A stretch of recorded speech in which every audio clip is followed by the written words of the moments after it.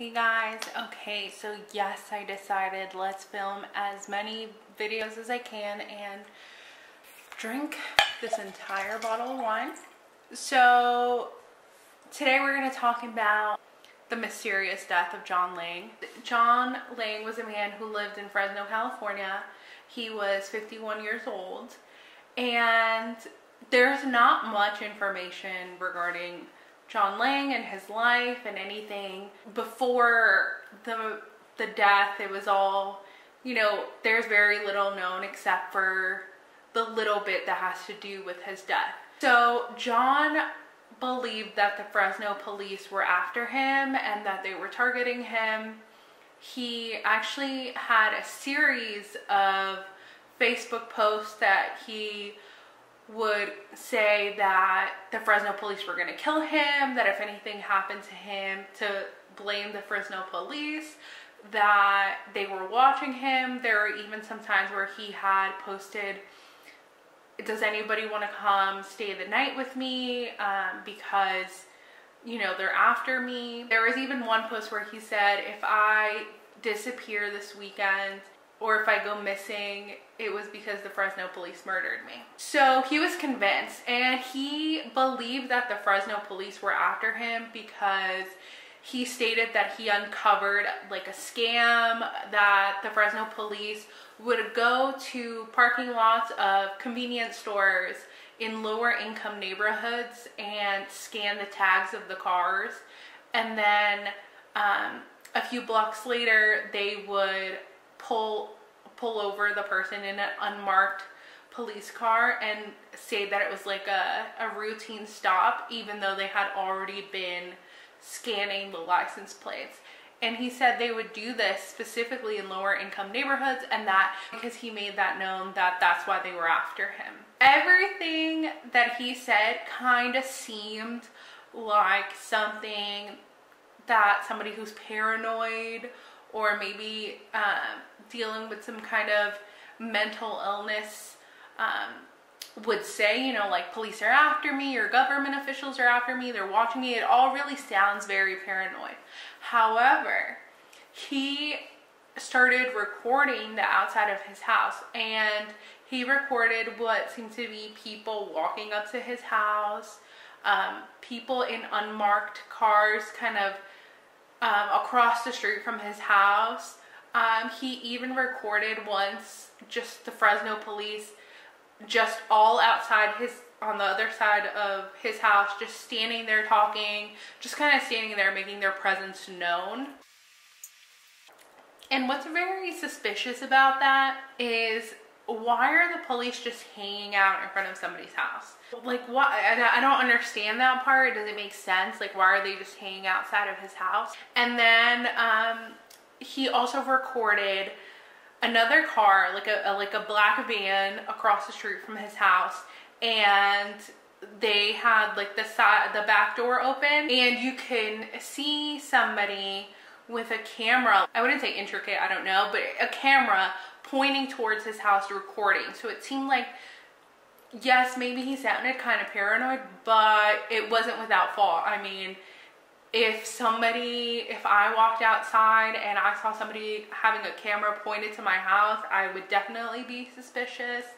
I mean, I'm the type of person that like when I'm walking home, I go out and I come home late or it's already dark when I come home. I literally well my house the back entrance to my house also has like a little I'm not definitely not a forest but it's like a little shrub right? And it's completely dark and you can't see anything through it. And I literally always feel like what if somebody's there? And I just like rush into my house and I'm like panicking trying to open the door. Um so seeing something like that um, like somebody watching me or somebody or multiple people like walking around my house like it would just make me, I think, even more paranoid. So his Facebook posts were concerning because he was worried that something was going to happen to him. So on January 20th, 2016, John Lang died. And here's here's the whole thing. So on January 20th, 2016, John Lang's house was on fire. When the police came and the fire department, when everybody came, they had found John Lang. At first, what is suspicious is that the first initial police report said that John Lang had superficial stab wounds to his uh, chest and abdomen and upper back. And then later, after they did um, an autopsy and whatever, then they amended the statement and they said that he only had um, superficial wounds to his chest and that there was no wounds on his back. So they ruled the death a suicide and they said that he likely died of inhaling smoke um, due to the fire. So the police's theory is that John Lang committed suicide, stabbed himself, and then set himself and his house on fire. So here's where it's suspicious. It's suspicious that he had all these recordings of people outside of his house, people recording him, the police, the actual police, Fresno police outside or across the street from his house, just there.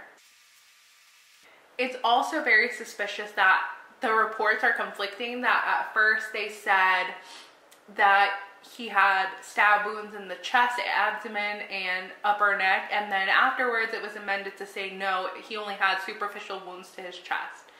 So it just all seems very suspicious. Some people believe that maybe he was just mentally ill and paranoid, and these events that he recorded or things that he saw were just isolated incidents and didn't really have anything to do with it. And because he was paranoid, he put them together as a conspiracy and that people were after him. Because, like I said, his Facebook posts and rants do seem like the like something a paranoid person would say, somebody who thinks that someone's after them. But then other the other side is a lot of people also think that the Fresno police did have something to do with it and the fact that they would rule it a suicide like who stabs themselves in the back? Like how do you even like i mean i guess you could but i just it just doesn't make sense to me that he would stab himself and then set his house on fire. Um it just doesn't seem like he was planning to do that based off his facebook post especially because he had asked people to like if anybody wanted to come and stay the night with him you know so he had somebody there. So it didn't really seem like he was suicidal. Um, he did leave, live alone so i mean i guess anything is possible. I don't know. I think that it is suspicious. I think that there's more to this than just john lang committed suicide. I don't know if I believe that he committed suicide. I think that all, everything put together just seems very sketch and suspicious and I don't know. I just don't believe that he committed suicide. I think that there's something more going on. And I just, I like, if it were not for the camera, the CCTV that he had recording the front of his house, I think everybody would be without a doubt just being like he's like either a paranoid schizophrenic or or has some type of mental illness and is, or is just you know someone suffering from mental illness. I don't believe that. I don't know if it weren't for the camera, I, maybe I would believe that. But everything put together, it just seems like more, something's more is going on there. But let me know what you guys think. Do you think it was a suicide? Do you think he misinterpreted everything that was happening and kind of created this scenario in his mind to believe like this is what's happening? Or do you guys think that yes the police had something to do with it and everything is just like they're covering it up by making it seem like a suicide and covering up their tracks by setting the house on fire? Um, i don't know. You guys let me know what you think and i'll see you in the next one